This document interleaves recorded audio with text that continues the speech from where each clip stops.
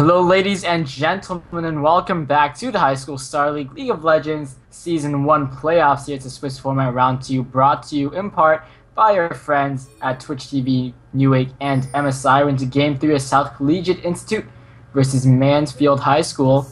And it's a 1 to 1 in the score right now, so this should be a very entertaining game. I'm Brian Citikin Trong, joined by Dominic Castaseto Romer. Be casters for today. Of course, after this best of three, I have one more best of three coming up, so stay tuned for that. As more high school League action will be coming your way. Some very exciting stuff. Again, this is going to be the ace match between South Collegiate and Mansfield. Now, Mansfield, they gave up number one to some very impressive play from South Collegiate who just retaliated, fight after fight, taking objective after objective, pressuring Dragons, pressuring Barons, and eventually pressuring the Nexus enough to win. Now, Mansfield, they were behind again in game number two up until about 17 or 18 minutes, but the very early aggressive pressure from South Collegiate did not pan out, and Mansfield were able to turn it around into a 27 minute victory, allowing them to bring it to this the ace match. Who is going to be favored in this match? Who do you think uh, Crusader Kitten is going to be taking the win for this game? And I, I really actually don't know how to answer that because this, these two teams have been pretty even. The last match, South Collegiate Institute came back. Oh no, wait, no, Mansfield High School came back after a really good early start. So, South Collegiate Institute got a little bit ahead of themselves, and uh, we'll have to see how this plays out. I really, honestly, do not know who's going to be able to pick up this win. Yeah, because, it's been uh, some fantastic like, trading between yeah. these teams. They just they're so willing to trade objectives to the left and right. They're not afraid of retaliating and making some crazy shoves and going for crazy plays. And it's been working out so very fantastically for both of them. Mansfield finally able to turn it around in game number two. South Collegiate um, being put a little bit on the back foot. Now I know momentum is very important going into these games. Who's going to have the momentum in this one? Yeah, well, for momentum, that's definitely going to be Mansfield High School coming back after such, uh, really just what looked like to be a loss for their team. Coming back after that really strong has got to be in their favor because, you know, South Collegiate Institute, they saw, you know, how well they started the game and then ended up falling. So definitely can't be feeling too good about that. But looking over at champion pickups this time, we're seeing a few repeat champions coming in. And uh, we're seeing quite a few new champions as well. We're seeing the Vayne coming out once again. Also seeing Graves. So we haven't seen Graves in this best of three. And uh, definitely to be interesting how to see Graves. We're actually seeing, I think, Kassadin's a repeat as well, right? Uh, yeah, seeing Snipinator on that Kassadin. He, I think it was actually someone else, but a gank in the top lane. We're seeing a Marcus Hill getting low, throws down the pillar. He's able to get away using that. Also, of course, the flash, but and America on top, as well as Dark Black, had to use their own flashes, so gonna be training that one out. Top lane, we're so seeing. It was actually Noobish Boy on Kassadin earlier, and now Snipinator yeah. is taking that away from him. Yeah, well, repeat champion, but definitely re uh, different plays this time. We're seeing N America on top, seeing if he can come into middle lane. The answer is no to that question. Looks like he will have to back out, however, Whistle is around. We saw Whistle on Xin Zhao in the first game, I believe, so seeing him playing that once again. I mean, these teams are pretty much kind of like mixes between the last games that we've seen. Quite a few repeat champions coming out, but of course, we're seeing Graves. I think that's the only new champion, actually. Hey, I yeah, Graves is was, like. Uh, yeah. R regardless, it's about four minutes in, no crazy action so far. In both of the earlier games, we've already had first blood, so these guys know what's at stake this time around. They're taking their time, playing patiently. Vapor going to be back on Thresh, Gleipnir back on Leona. Some very confident pickups. Yeah. Again, there's just nothing happening outside of standard laning. No crazy rotations. These guys want to take their time, play it nice and passively, and a flay denies the engage in bottom. And Noobish Boy actually middle lane taking damage, Snipinator getting in there. Charm coming up, takes him into the tower. He flashes back in, the tower shots. Noobish Boy gets the kill, does not go down. Meanwhile, bottom lane Choco Pocky gets slow, but the heal coming out to try and save and Captain Jack low as well. Vapor gets caught up in a lot of CC flashes away, and America on top gets the kill. Gleipnir going down, flashing, Captain Jack gets the kill. Now looking for more, possibly looking to get away actually, and America on top wants to get onto him here. Vault Breakers away, we'll be getting out. Jocko still sticking around Captain Jack as well.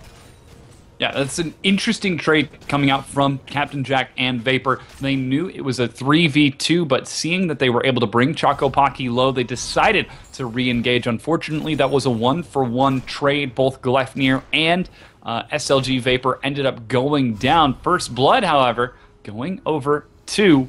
Um, that's going to be South Collegiate, as they do currently lead a quick 100 gold. Um, though there will be closely followed by Mansfield, only 100 behind. Now Marcus Hill being engaged upon by Dark Black. Yeah, I'm missing Marcus Hill. Gonna get forced out of here. Possibly Dark Black is also low as well. This These two top laners have been pretty aggressive in the past three games, but Marcus Hill has the CS lead right now. Of course, he's against that bully Renekton. And we'll see how that pans out for the lane.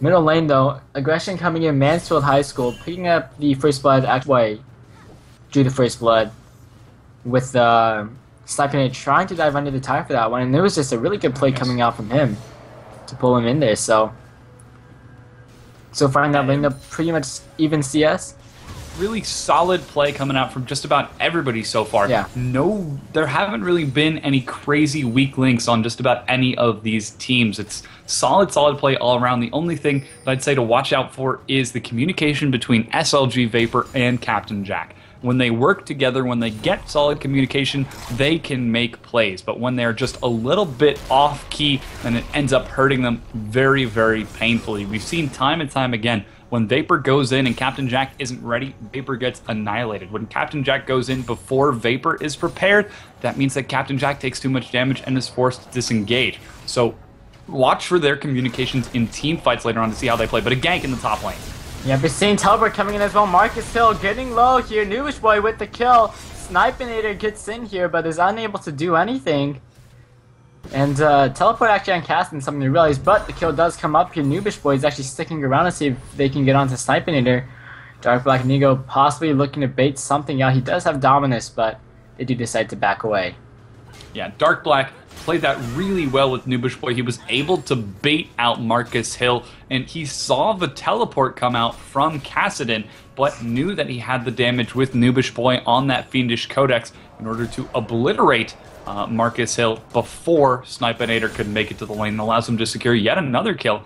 So far, Mansfield lead, quick 600 gold over their opponents because of those early two kills. Now, Noobish Boy finds Whistle in his jungle. Yep, Whistle going to call a few of his allies to Noobish Boy now in trouble, but and America on top is here as well, forcing the flash away. Dark Passage gets thrown out as well. There is the charm back onto Whistle. Snipinator finds a kill into Noobish Boy. Now they want to look for N America on top. He's exhausted. He's going to get out of there with the dash. But he's still in pursuit here. Snipinator looking to get right back onto him. He's trying to bait this one out though. Choco Pocky coming in here. Gleipnir is on the side of little Captain Jack is actually over the wall right now. But they cannot find a kill or re-engagement or anything like that. So it looks like these two teams will be backing out. And that was a one for none trade over to the side of South Collegiate. Yeah, in South Collegiate, they're even in gold now. Taking that kill is helping them bring themselves back into the game. And that was just Noobish Boy getting overextended. Taking the early Fiendish Codex gives him more spells, gives him more ability power, but he just doesn't have mana regen action in the top though. Yep, a lot of action coming out. I like Knight's dropped down Dark Black here. Looks like he will be able to live though. Dominus helping him out with a bit of health right there. Will be able to live from that, and uh, once again, just really aggressive up in this top lane. And the reason that South Collegiate was able to take that advantage was they staggered out the uh, fight with Noobish Boy. SLG Vapor made it in time to toss out an excellent Dark Passage, shielding both Whistle and Snipinator, keeping them alive from the onslaught of N America and Noobish Boy long enough to allow Captain Jack to rejoin the fight and turn it around. So some really, really confident play from South Collegiate. That's the sort of communication I'm talking about. Dark Black Flash and the auto attack. Marcus still finds coming on bottom lane as well. Heals coming out. Solo good job. Vapor is getting low, but Captain Jack bursts them down. He flashes into the dust and it's Choco Pocky. He does find the kill, but Captain Jack is going to double it up. Gets the two of them. And that's a three for one trade around the map right there. And that is the communication from South Collegiate, being able to drop enough CC onto Gleipnir, be able, being able to balance out Choco Pocky with summoner spells that allows uh, Captain Jack to take those two kills, giving him a quick 3-0 to the 1-1 and 1 of Choco Pocky. He's recalling now with about 1700 gold in the bank. I don't know if that's quite enough for a bloodthirster, but man, he is feeling so confident. He is fed and farmed at the moment, 3-0 in kills. He does have the Bloodthirster, and he is way ahead in CS right now, and it's the uh, Bully Graves coming out. He has a Thresh to support him with that, and we're seeing them, they just burst it down in that bottom lane. It's kind of what Graves is all about. He has a lot of AoE coming out, collateral damage and buckshot, and he has uh, also has gets a surprisingly amount of tanky stats coming out from as well with his passive, so able to survive through a lot of the damage here. And I'll definitely need to find a response for that Graves because he is looking to get really strong in this early game. And it will seem like that would be Noobish Boy's main target. Noobish Boy, he's going to be the assassin on Ahri Action, though, on the bottom. Yep, Flay's coming down once again. Choco Pocky, and actually here's Marcus Hill up the top lane trying to do Dark Black gets the kill, and it was here's the more action down in bottom lane. Vapor gonna get taken down by Gleipnir. Captain Jack gets caught up with the stun. He's trying to turn this one around, though throws out an auto attack, does trade the kill, taking one with him. Back at the top, and the fight is still happening. Snipinator comes in to see if he can help out, but it's too late, and Whistle goes down. and Mansfield take a thousand gold over South Collegiate. That is some confident, confident play from both of these teams. Choco Pocky getting caught out with Gleipnir under the power of Captain Jack's early Bloodthirster and the CC of SLG, but the quick counter gank from N America allowed them to turn that around into a quick double kill for only Gleipnir. In addition to being able to take that turret, they also took a few kills in that top lane by shutting down uh, I believe it was Whistle and Marcus Hill. So some very, very impressive play, bringing Mansfield back into the lead for this game. They're about 1,700 gold ahead right now, and here's Marcus Hill looking for Noobish. Yep. Does get thrown on to get some slowed down, so Noobish Boy gonna be safe with that, and he has definitely had a lot more of effect of an effect on this game than Snipinator has, and that's definitely great for him because they're both pretty much the roamy assassin uh, middle laners, and Noobish Boy has had a little bit more success with that kind of roam. And Kassadin, you know, surprising Kassadin, really strong pick nowadays, but we're seeing Ahri just coming out a little bit strong in this match where Marcus Hill is in trouble up top, and his Dark Black is in here once again, and this time Marcus Hill is outnumbered and taken down. Noobish Boy with the kill. And that's yet another collapse onto Marcus Hill. So oh, much yeah. emphasis from Mansfield have been has been to put Marcus Hill down, deny him from getting anywhere. And the fact that Marcus Hill is building damage with that Bilgewater Cutlass into Blade of the Ruined King means he's not going to be very effective in team fights until he completes a defensive item after that Blade of the Ruined King. And with Choco Pocky on Vayne and a Deathfire Grasp on Noobish Boy's Ari, that's going to be a really rough mid game for Marcus Hill to overcome. Yep, so with this tower score so far 2 to 0 in the lead for the side of Mansfield High School, and they're also up in kills. And actually some action in the middle lane here, we're seeing a little bit of push, but bottom lane as well. Once again, they're just so aggressive down here. Box gets thrown down here. Captain Jack looking to cut away. He's exhausted, thinking for Choco Pocky. They do throw down the solar flare. They're focusing onto Vapor. Captain Jack goes out in some burst, but unable to pick up a kill. Meanwhile, in the middle lane, tower will be going down. It's picked up by the side of Mansfield High School. Actually, Captain Jack still sticking around bottom lane. Finds it comes to Gluttman looking for a 2v1 here. Getting out the Choco Pocky. Can he pick up the kill here? Heal coming out to get the bait. He does find the double kill. However, he's in a bit of trouble. There's three members coming down from Mansfield High School. He's pretty much dead in the water right now.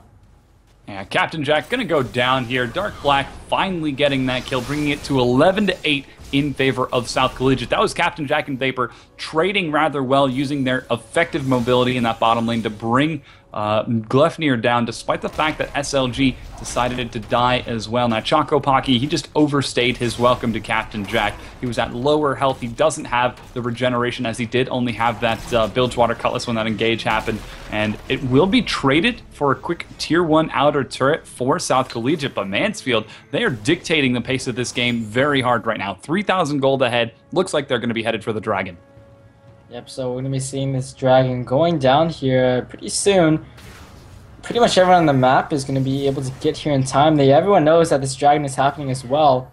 Whistle fairly low though, so it's to be a little bit dangerous for him when he wants to go in. Marcus Hill though, trying to run some interference. This dragon will be started though by the of Mansfield High School. But here's the engage coming up. Pocky gets caught up. Everyone's to be diving in though to try and get onto the back line. Marcus Hill though gets Melted trying to get down. The shutdown though does go down onto Dark Black here. But Choco Pocky flashing in. He's looking for kills. So many members are low. He is looking for it. Gets the first kill. Now going to be moving on. Trying to get onto Xin Zhao. Now onto Captain Jack. Gets a double kill. And so many members are still low. He throws in the heal for some extra movement speed. But the... the Condemn pushes him away. Noobish Boy take, gets taken down by the tower. And Choco Pocky, not able to stack up on the kills, does get two though. And that was the incredible team fight from Mansfield. What we saw was uh, Marcus Hill, again, he does what he did in every other game. Uh, he ran into the backlines to try to shut down the carries, but the fact that he was 0 3 going Yeah. into those backlines meant that he got obliterated absolutely quickly. Choco Pocky and America and um, uh, not Slipinator, um, Noobish Boy were able to burn through Marcus Hill's health bar so very quickly, despite the subjugate that he went down. And from there on out, it was just South Collegiate running for their lives. But you can't run away from a Vayne with a Blade of the Ruined King and um, that final hour. So really, really solid play from Mansfield in order to take an advantage. They're going to be able to secure the dragon after that extended engagement. Yes, they lost two members of their team. They were able to take up three and the dragon. Yeah, and you're talking about how um, Marcus Hill, obviously his job is to dive into the back line, try to run dis- some disruption. Didn't work out because he uh, doesn't have the best score. I got shut down in lane. Dark Black, though, after quite a few roaming uh, roam kills coming up to the top lane by Noobish Boy, Dark Black did a much better job at tanking up in that back line, and he took down so many members of South Collegiate down low. Pretty much easy pickings for Choco Pocky when he got into that back line. So able to pick up those kills there. It's 14 to 9 and a nice 5,000 goal lead for the set at Mansfield High School. Uh, South Collegiate, they're doing what they can to try to turn it around. We see quick rotation in the bottom lane, almost catching out uh, Captain Jack and Snipinator. But here's another gank onto Marcus Hill. Yeah, Marcus Hill once again gonna get taken down here. As you saw, and Battery does come through, and America gets the kill, but Teleport coming in, Whistle and Snipinator are here to try to help out here, looking for some damage. Whistle, though, gets taken down so low. He's gonna go down. Dark Black with the kill, takes a tower shot, flash in from America, trying to get at the Snipinator, but he can't quite get the last hit. Snipinator will live. But he will be trying to stick around here. The tower is gonna go down. I don't think Snipinator can really do anything about this push. Yeah, that was a huge play coming out from Mansfield. Again, they're dictating the pace of the game, looking for a dive in the bottom lane. Yep, just uh, gonna get uh, a little bit disengaged going out there. Noobish Boy unable to get in. The top lane tower does go down. There's a DFG coming out looking for some burst onto Vapor. He wanted he wanted to make him his name, just a bunch of Vapor, but unable to get the kill. Captain Jack forced to get take a dark passage out of there. And bottom lane push coming That's in strong, but towers four to one. Yeah, Mansfield is just dictating the pace of the game. They're up 7,000 gold. They're pressuring objectives. They're forcing fights with South Collegiate. And we can see time and time again, they're continuing to increase their advantage. It's 18 and a half minutes in. They're up seven kills. They're up three turrets, and they're up one dragon. That's a lot of global gold, and the fact that they're able to get these major item pickups the Spirit of the Elder Lizard Randuin's on Vi, the Randuin's Ravenous on Renekton they're getting so much further ahead in stats that soon South Collegiate won't be able to keep up. South Collegiate has got to start making some counterplays of their own if they want to try to contest this incredible pressure from Mansfield. And Mansfield definitely looking strong in this game now. They're going to be going back, picking up quite a few items. Even with South Collegiate NC, their AD carry Captain Jack is 7 and 3 right now, but they just don't have the support for him. He's the only one on the kill, or his he has a majority of the kills on his team, and no one else on the team has been doing quite well. They're really just behind in items for the rest of it. Marcus, so once again, Dark Black is looking for stuff onto him. Marcus is able to back out of there, force use the ultimate.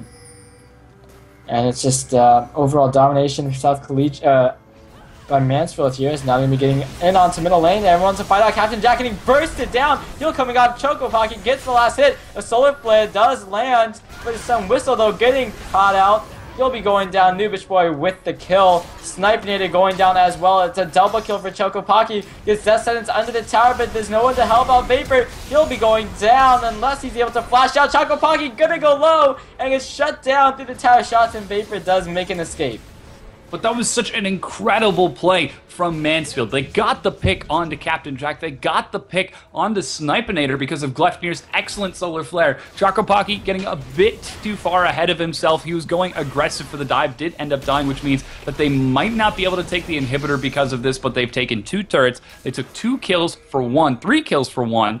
And it looks like map control rests securely in Mansfield favor. They're up now 10,000 gold. That's nine and a half rounded up. A lot of those major item pickups are going to be completed for Mansfield as they do back off to defend. This would be a good opportunity for South Collegiate to try to pressure somewhere else on the map, but with all of their waves pushed, there's really nothing that they can do. So, you're seeing some more clearing going around the map here. A lot of pressure coming around onto the Baron area now. Mansfield and South Collegiate definitely looking towards that side of the area. 20 minutes in, both teams are definitely looking around. Top lane push is actually going to be coming out here. And meanwhile, middle lane push going to force the side of South Collegiate to go back. They were trying to take down an outer tower, but they have to rush back to their base to defend their inhibitor right now, which is going to get pushed in by Mansfield High School. Yeah, that is just such a confident rotation from Mansfield. They see uh, South Collegiate make a beeline for that top lane, walking past the warded Baron pit and they say, you know what? We don't even have to fight. We don't have to even defend the turret. We're so far ahead. We've got solid control. They're setting a death push up. Oh, there's a soul frag coming down. They're all jumping over, sniping it. It gets sniped out himself there. And now they continue on And for this fight. Captain Jack is taking down Choco Pocky, just melting him down in the back line. And they pick up three with that push. It will be the inhibitor falling in the middle lane. We'll see what else Mansfield can get out of that fight. And they're continuing to pressure forward, looking for the Nexus turrets. A huge play setup. Marcus oh, Hill gets charm. caught. They get onto Marcus Hill and a whistle. Whistle gets low. Auto attacks coming in. He gets on the fountain. Marcus Hill can't get dead. Oh, he does get a kill on the Choco Pocky and gets on the fountain to defend. But the Nexus towers are going down low. One does go down. Snipinator is back up. So is Vapor. So is Whistle. And they want to re-engage. They're out for Bud. Blood Flay going black. Dark Black is looking to get out himself here. But he'll be going down. Gets stacked up upon and Snipinator gets the kill. Yeah, a huge, huge play from Mansfield being able to pressure all the way to the inhibitor, take a Nexus turret on top of that, though. Again, Choco Pocky overzealous. He got caught in the Ignite, took too many turret shots, and ended up dying again. Now, Marcus Hill, he's looking for the Baron with the rest of his team, but I don't know that they have the ability con to contest this. Choco Pocky is back on the map, and America is waiting in the wings to try to go for a Smite Steal if that were to happen. And this is just a really precarious situation for South Collegiate. They're down 10,000 gold. They've lost their inhibitor, and they've only got a single Nexus turret left. They've got to defend and allow that inhibitor to get that uh, get back up. Look for yet another pick onto Mansfield before they can try to turn things around. So, we're going to see how Mansfield will continue on with this game. 6 2 and 6 on their AP carry. 80 carry as well, getting some kills in for himself now. 8, 4, and 6, finally eclipsing the KDA of Captain Jack, and we're seeing Vayne is just having such a strong impact into this game now. Same thing as well for Ahri, and it was actually Captain Jack gonna get away from this one. And America was trying to go for an engage, and able to find it though. Yeah, Mansfield, they're continuing to pressure forward. They're not giving any rest or relief to South Collegiate. Dropping wards all around the Baron Pit has got to have South Collegiate feeling a little bit antsy right now. And as long as the Super Minions are continuing to pressure forward, they're going to continue feeling antsy. Now, Mansfield, they're going to be setting up yet another death push, something that they are very famous for as they've done it three times in the past three games. So looks like this could very well be the end. They're gonna be catching on Marcus Hill, but he's not tanky this time. They'll burst him down here. Choco Pocky with the kill. Solar Flare onto two. They catch on Snipinator. Distance does come through, but they cannot get onto Snipinator. And now they might want to turn around for Vapor. They'll burst him down. Meanwhile, Noobish Boy and N America looking for kill kills. Gleipnir does find one for himself here. N America has to flash out because Noobish Boy is coming in to pick up the kill. Captain Jack trying to kite out. Dark Black finds the kill onto him. Now they get into Snipinator. He is trying to get away. Flashing, but doesn't connect, but he'll still go down to the auto attacks. Or maybe not as the dash does come out. He does get away the Rift Walk. But this will be the Nexus Towers going down. This is looking like the game. Yeah, the Nexus is certainly going to be the next target for Mansfield. We're going to take the comeback win. The Nexus itself now is naked. Choco Pocky, he's not even caring about any of the other champions. He's going for the Nexus like he should. Exhaust denying some of his damage, but Dark Black and Gleipnir just continuing to bait it around. And finally, the Nexus falls. Mansfield are going to be taking game number three and win the series from South Collegiate. Yep, getting it two to one. So guys, we do have one more best of three coming up for the stream today, so don't go anywhere. The High School Star League League of Legends Season 1 playoffs will be right back.